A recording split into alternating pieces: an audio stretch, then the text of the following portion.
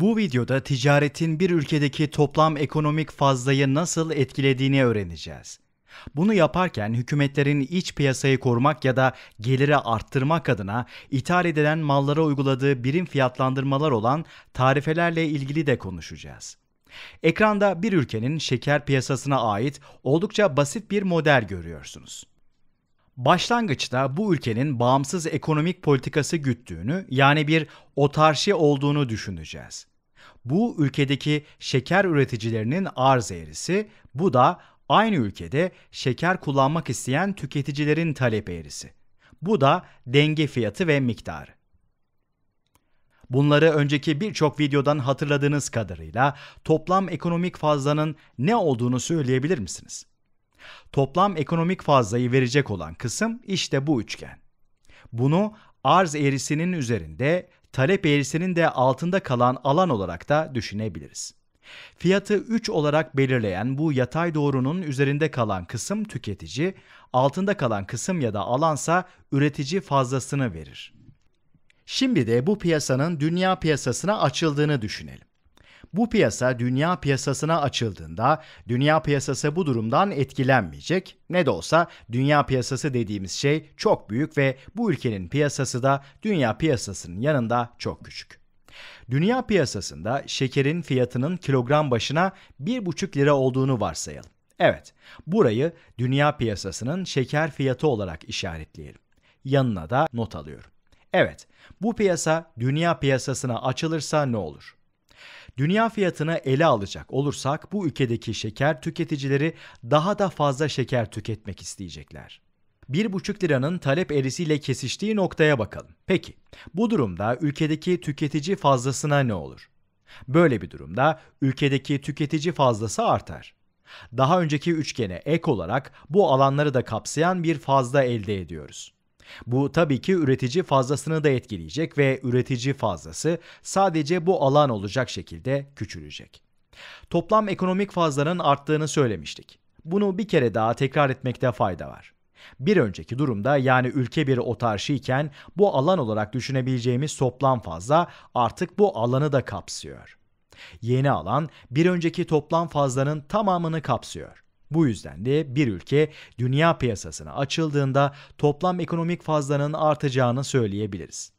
Dünya fiyatı izole ekonomideki denge fiyatının altındaysa tüketiciler durumdan karlı çıkarken üreticiler fazlalarının bir kısmını kaybedeceklerdir. Şimdi de bu ülkede şeker üreticilerini temsil ettiğini söyleyen bir hükümetin göreve geldiğini düşünelim. Hükümet ülkedeki şeker üreticilerinin düştüğü durumdan rahatsız olduğu için bir tarife öneriyor. Tarifenin birim fiyatlandırma olduğunu da bir kez daha tekrar edelim. Uygulanan tarife kilogram başına 50 kuruş olsun. Bu durumda ülkede yaşayanların bakışı açısından dünya fiyatı ne olur? Ülkedeki tüketiciler şekerin kilosunu 1,5 liradan alabiliyorken artık 50 kuruş daha fazla ödemek zorundalar. Evet, tarife yüzünden fiyat bu seviyeye gelecek. Peki bunun sonucunda ne olacak? Talep erisiyle kesişen nokta dünya fiyatında olduğundan daha düşük bir miktar olacak. Dünya fiyatı geçerliyken çok daha fazla şeker tüketiliyordu ama artık daha az tüketiliyor. Fiyat tarifeye rağmen otarşi fiyatına göre hala daha düşük olduğu için şeker tüketimi de daha fazla.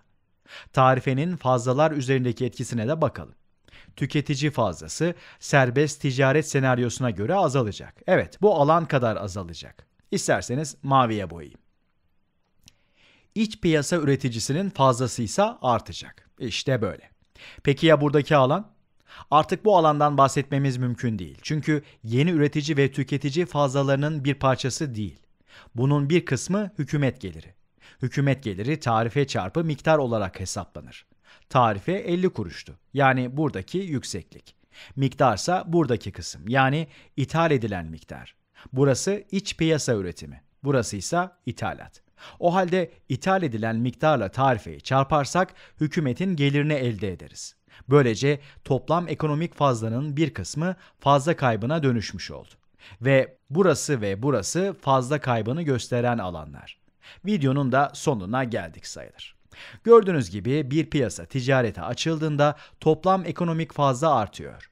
Bunun üreticilere yönelik bazı sonuçları olabilir. Benzer şekilde tüketicilere yönelik sonuçları da olabilir. Çoğu zaman hükümetlerin tarife uyguladıklarını da görürüz. Tarife toplam ekonomik fazlayı azaltacaktır.